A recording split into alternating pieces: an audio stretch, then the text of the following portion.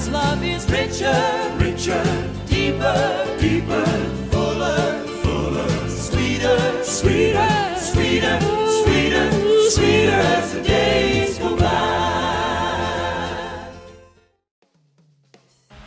Hello, it's Friday, January 22nd, 2021. I'm Pastor Matthew Coleman from First Baptist Church in Clay Center, Kansas. And today, we are continuing our look at some of the short and sweet Bible verses that are meant to be an encouragement and a challenge to us as believers in Jesus Christ. And today we look to the epistle to the Philippians. Philippians chapter 4, verse 4 says, Rejoice, Lord, always. And again, I say, rejoice. Well, a few days ago, we talked about repetition in the Bible and how when uh, repetition occur- occurs, it is to emphasize uh, a thought or an idea. In the fourth verse of Philippians, uh, we see the word rejoice twice. Rejoice in the Lord always, and again I say, rejoice. Now, uh, it is interesting that we have the word at the very beginning of the, the verse and at the very end. So that also is meant to emphasize that point. So, rejoice, as we talked a couple weeks ago in a sermon here at First Baptist Church in Clay Center, is a word that means that we recognize the grace of God, that we experience the grace of God in our lives. It means that we're aware that God is working. And you know what? How true that is.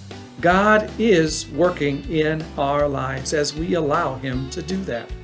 And so today, as disciples of Jesus Christ, we have cause to rejoice. To rejoice in the Lord. And what does it say? Rejoice in the Lord always. And again, I say rejoice. Our sermon series for this month at First Baptist Church has been looking at 1 Thessalonians 5. And 1 Thessalonians 5:16 says rejoice always. This verse, Philippians 4 4, is very similar to it, isn't it? Rejoice in the Lord always. And again, I say, rejoice. And so today we offer this verse as an encouragement to us to remember that God desires to work in our lives. God desires to pour out upon us His grace.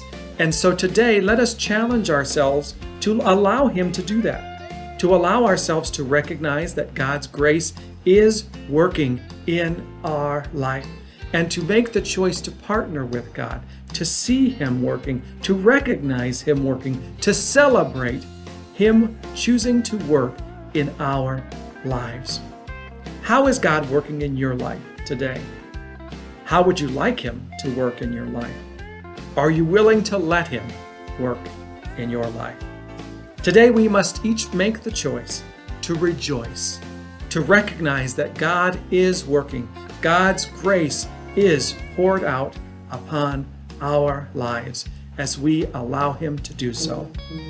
Thank you so much for joining us today for this Ministry Minute. I know it is a short and sweet one. Our next Ministry Minute will be Monday, January 25th, 2021. And we look forward to seeing you again real soon here at First Baptist Church in Clay Center, Kansas. Know that we're praying for you. We pray for your family. We pray for our nation. And indeed, we pray for this world. His love is richer, richer, deeper, deeper, sweeter, sweeter, sweeter, sweeter, as the day